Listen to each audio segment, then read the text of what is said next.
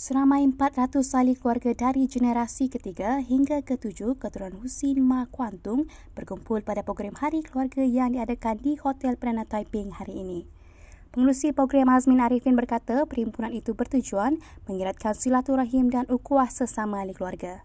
Turut hadir bekas Ketua Polis Negara Tan Sri Ismail Omar, Presiden Persatuan Persatuan Hainan Datu Lim Chiu An, Datu Bandar Pertama MPPJ Datu Ahmad Hermisi Putih dan Datu Abdul Latif Abu Seman.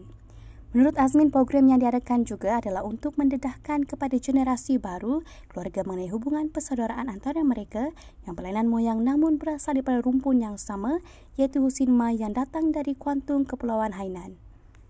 Beliau yang juga merupakan generasi keempat dari Kelantok Wah Hassan mengenakan pakaian berwarna merah sebagaimana yang telah diputuskan dan dipersetujui secara bersama di dalam mesyuarat yang lalu.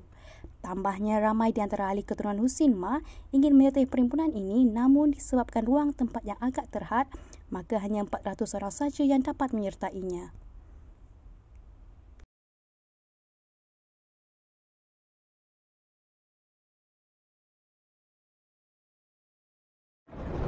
Mm-hmm.